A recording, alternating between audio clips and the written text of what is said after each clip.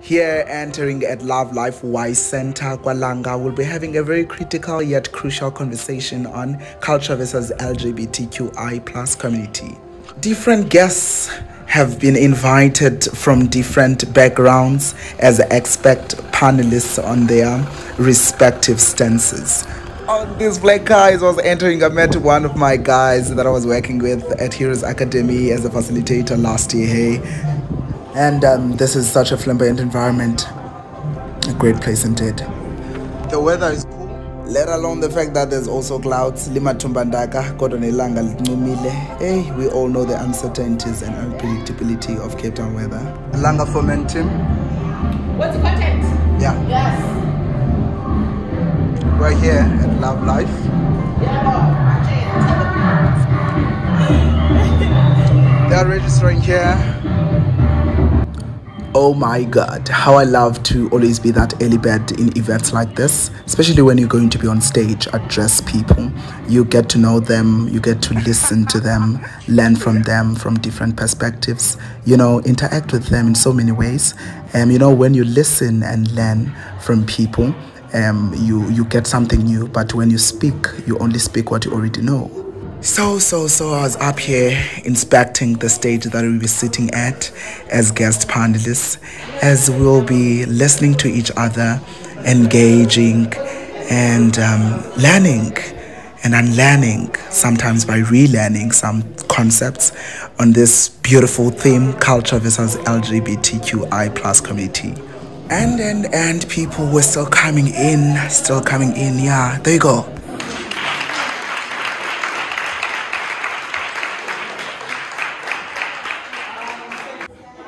This person was born on the 17th of May 2000. Ah, little K. he grew up um, with grandparents who teaches and believes keep molding him to be and become great, although they have passed away in 20 under the villages of Cholo, which is the eastern part of Cholo province where he studied from grade 1 to grade 10.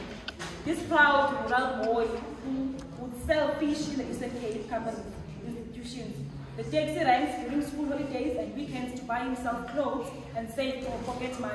In 2015, he moved to Dudwa to do his grade 11 and matriculated in 2016 at Nomaka Beki Technical Senior Secondary School as a top achiever with four distinctions in the school.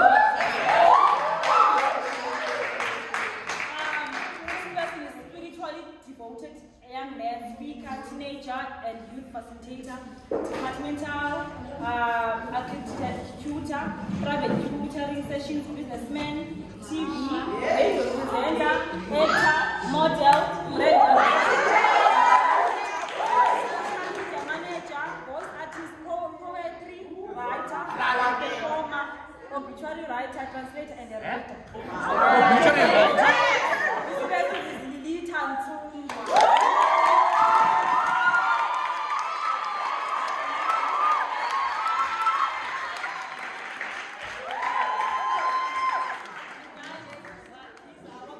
Thank you so much.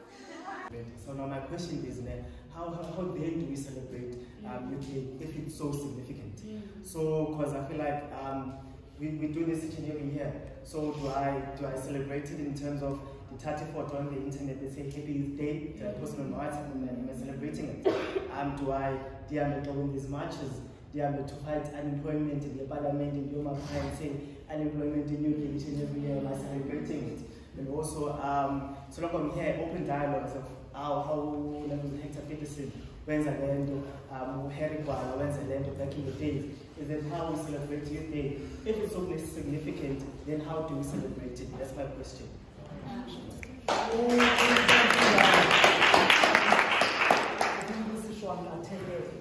Um, all right, we have had different perspectives on this youth day thing. Um, what I will say first is that we study history in order, we do not just read it on, on top or on the surface, but we scrutinize it. The reason we scrutinize history is because sometimes we don't want the things that happened to repeat themselves, right? So we study what the youth of 1976 done um, because we want to check our present problems. They checked their problem that was existing then and they fought it. Now we as today's youth will check our present problems and fight them. Like it's a spirit of fighting basically, what we are facing as the youth. For example, this gathering here, it's celebrating the youth. We are celebrating youth by gathering here. It does not necessarily mean like you'll go and stand in front of the parliament or you will post a picture or whatsoever. Like anything that addresses the present problems and seeks to find solutions of those problems, that's celebrating. And, and other people on this thing of saying um, celebrating youth is nonsensical. so yonke le nto isokubhaqa kum ayenzi sense until sibe sifunda ukwenza ezi zinto zasenziwa rongo ngendlela erayithi Some people they do not they do not regard or take their celebration from the external things. It's from within. Because they are content. I'm content to that as much as I'm from an underprivileged uh, background, but I've been able to stand tall. I am content, therefore I'm celebrating my youth era or my youth time. The fact that I'm in Cape Town, I don't have a family, but I'm able to support other people. Hmm. I'm celebrating youth for that. That's my, those are my youth years. I cannot consider the fact that NSFAS is not popping for me, Basal is not popping for me, therefore I will not celebrate youth. I will celebrate it because I'm content. I'm able to like to see my future regardless of what is happening. So yeah. Oh my god, this dialogue was already high and hot at this point. I just needed some water. There we go with my speech. Hear the scream of the son of the soil of Africa. Hear the scream of the son of the soil of Africa. The tears have teared my filthy face. Am I alone, Africa? This is my scream to my motherland. I've been observing. It's getting out of hand. The puzzling problem from the roots unto the leaves, it's high time I speak out my nerves. Hear the scream of the sun, of the soil of Africa. I shall be healed by the harmony amongst our humanity. As long as we are still sick, I shall continue to scream. Scream until a stream of living waters flows and wipes the black on black screams of weeping. Who doesn't want to dance and sing along? Sing along a song of Ubuntu, a song of enlightenment and equity, a song of values and victories, a song of our present time triumph. I want to sing, I want to dance. How I long to dance as I sing along Nkosi Sikeleli Africa. Today I am still pitching, pitching knowing very well that I'm pitching to a sinking Africa. But I want to pitch this Nkosi Sikeleli Africa knowing very well these blessings are already existing. But I am just pitching a progressive blessing. Good day everyone. My name is Lilitha. My surname is Ntsundwani.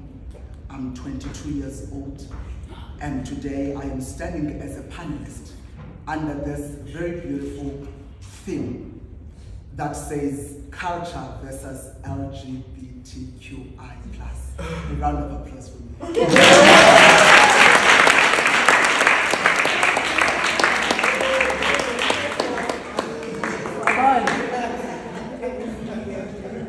Given the fact that spirituality is a very sophisticated phenomenon or system for some people, I think it is very necessary and of critical importance that whenever we speak on the stance of spirituality regarding any any issue that we are facing as a society, we deliver it or express it in its simplicity.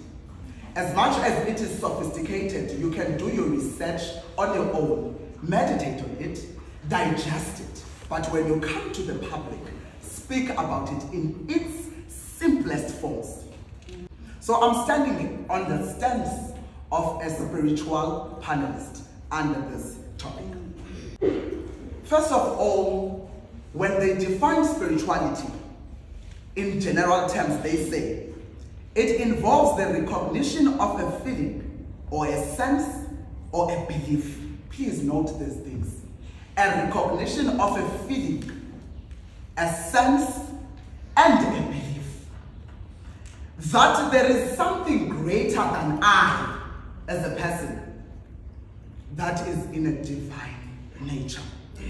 And they further say it involves being in constant discovery of the meaning of life. Just from this definition, I can safely say whoever says is a pastor, whoever says is a spiritual expert, but as long as you say to me, LGBTQI plus community is anti-spiritual or is not aligned to the will of the spirituality, then you are confused.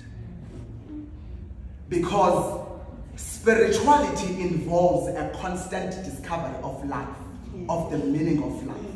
So you do not have a right because you are not a divine nature as a human being. When you believe in spirituality, you believe that there is a higher power than you. So whatever preferences that you have as a human being do not possess any stance.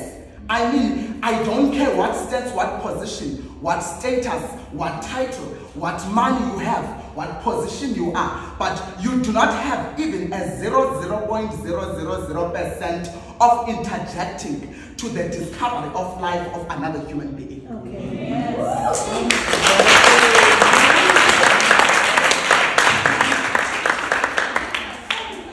I love psychology. Psychology says spirituality is discovering your own inner awareness. It is connected to an overall of a being, being a good person with virtues like forgiving, kindness, generosity, and all such. These are the basic things, right? Mm. Forgiving, humility, kindness, these are the basic things. But psychology says if you do not have these things, then your spirituality ought to be questioned. Mm-hmm. So, so if you're gonna come and say to me, I, I, I would like to be kind to you, but because you are believing in these values, I refrain to being kind, then I shall question spirituality. Mm-hmm. Because spirituality allows any being to be himself or to be herself. Spirituality allows you to be humble enough to understand that this person can navigate his own spirituality in his own way. Because he has his way of listening to the divine power that you do not understand. And you have your own way of listening to your own divine power. As much as sometimes we find that I'm a Christian, he's a Christian, but, but at the same time, we do not have the same way of believing. He, he, he will believe that I can date before marriage. I will believe that do not date before marriage, but we are in the same belief that we are Christianity. Same thing. Allow that person to listen to his own divine power because, because that person is in his own self-discovery of the meaning of life. Are we all together? Now, now, as I'm about to conclude, as I'm about to conclude, I'd like to, to give you a definition of spirituality in terms of Africanity. Mm-hmm. Yes, here it is. It may involve religious traditions centering in a higher power, but it can also involve a holistic belief in an individual connection. In an individual connection. I'd love to, to, to underline this. It does not start in a group. Hmm. It does not start ebuhlanti in a crawl. It does not start kwigubu bayithini sangoma zonke ezazinto sizenzayo amagqirha. It does not start there. Spirituality does not start there. Spirituality starts from within. It starts from within. I hear you. So, so I believe that it can never be African culture that, that is committed to dehumanization of people. Hmm. It can never be African culture because African culture involves a holistic belief. Hmm. A holistic belief allows diversity. A, a holistic belief promotes diversity. Hmm. A holistic belief um, is in search of a ground that how can we come to reality of umtu, umtu. That's, the African culture that I know. The African culture that I know. Says no man is an island. So if we're gonna allow politicians, oh, this is a very important thing. We should not equate the political power to the, the culture. Because, um, for example, we have a president in Uganda that said, that said we can sign a policy that is anti-gay, right? That was the political power. My research shows that politicians that are against homosexuality usually get a number of votes, right? So they will try by all means to find ways to support homophobia because they want the number of votes. So we cannot say on the stance of the political power and say that is our culture. Because I've heard people saying it is our culture that, um, that prohibits homosexuality. That's our culture. But the same culture that says umtu umtu ngabantu, the same culture that, that wants to promote diversity, are you saying that's the African culture? No, it can never be. Thank you so much. So, after each and every one of us, as the panelists delivered, the audience was given an opportunity to comment or ask any questions based on their points of interest. Culture was created by people. That's the first thing we should know. It was created by people. It is not, it is not a divine nature. Mm. It was created by people, for people, in a specific time that suited them at that time. So, so we cannot aim to steal, to kill, to destroy. Mm. We just cannot. Let's take an example. Mm. We, I, I, I know this, it happened. Uncle of this family raped the, the, the, the niece family. And the family gathered. Because we are activists, we want to take that further to the law. But the family said, no, you cannot do that. Masi his car. Do you understand? Do you understand? That, that's the toxicity that the culture can kill. But it was working back then, right? But nowadays we are aware. We are aware of the things that are happening. So we cannot, we just cannot continue to embrace that, right? So we need to be aware that because it was created by people, then it is the very same people that can say, take a stand, take a stand that we should change it, suit Tina in the time that we are living at.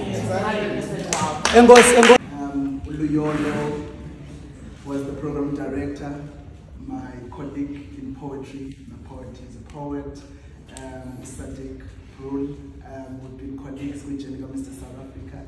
Thank you so much guys. This has been a very enlightening and refreshing space, honestly speaking. Thank you so much for your courage. It's not something that you just wake up and think of doing such such things because it's issues that are very sensitive.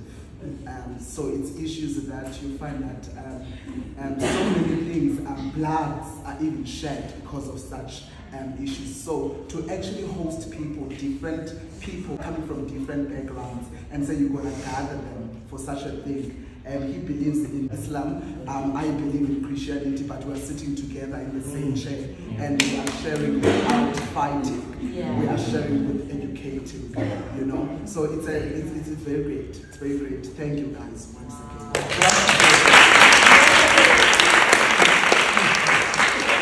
To sum up my stance, I was a panelist on the stance of spirituality based on the theme of LGBTQI plus community and um, culture. We need to understand that spirituality is greater or is higher than culture. Spirituality is greater or higher than opinion. spirituality is greater and higher than just a feeling. Spirituality is divine.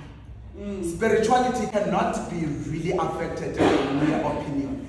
Yes. Spirituality cannot be affected by mere feeling, by mere choice of saying maybe um, I'm choosing a, a particular gender, therefore that affects my spirituality. No. No. Spirituality is higher than that.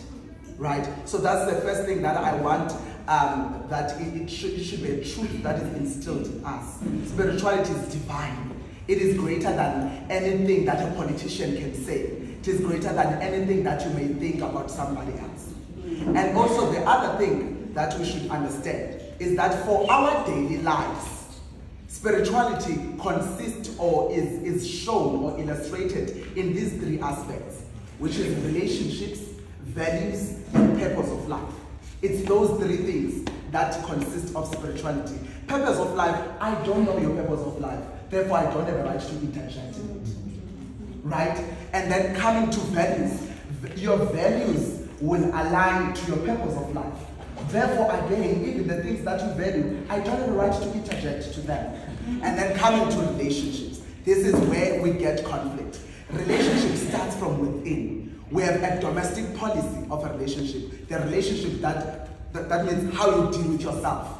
That's a domestic policy of a relationship. Then we have a foreign policy, which means how you relate, how you support people. That's, that's where the conflict is. People haven't dealt with themselves. Now they are protruding. Um, they, they, they, are, they are insecurities of lacking that truth of dealing with yourself.